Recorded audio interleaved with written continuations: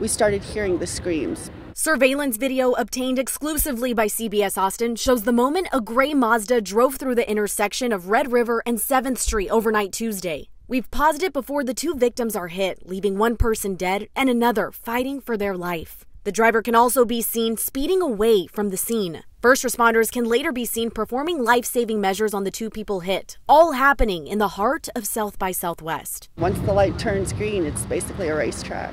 Jessica Cohen, a former EMT medic of 10 years, was working at a bar nearby when those two pedestrians, who have yet to be identified, were struck by a car around 1 a.m. The, the young man that died was hit dead in the middle of the crosswalk on a white walk sign, so he clearly had the right of way, and it threw him almost 50 feet Jessica says South by Southwest has put additional safety measures in place over the years to prevent things like this, but may need to revisit their safety plan after this crash. Got these new barricades are up so we don't have a repeat of the 2014 incident. Rashad Owens is serving life without parole for driving into a crowded street during South by Southwest in 2014, killing four people and injuring 23 others. At the time, he was drunk and trying to escape Austin police. Since then, APD and the festival have put in additional street barricades and lighting downtown. Within the South by Southwest barricades, we do have an officer at any every intersection. We have parked police patrol vehicles at those intersections as well. Cohen says she hopes this pattern of pedestrian fatalities at South by Southwest comes to an end. Trying to be a town that's inclusive, micromobility, better walking, yet we've still got cars that are doing 50, 60 60 miles an hour on a four lane road through downtown,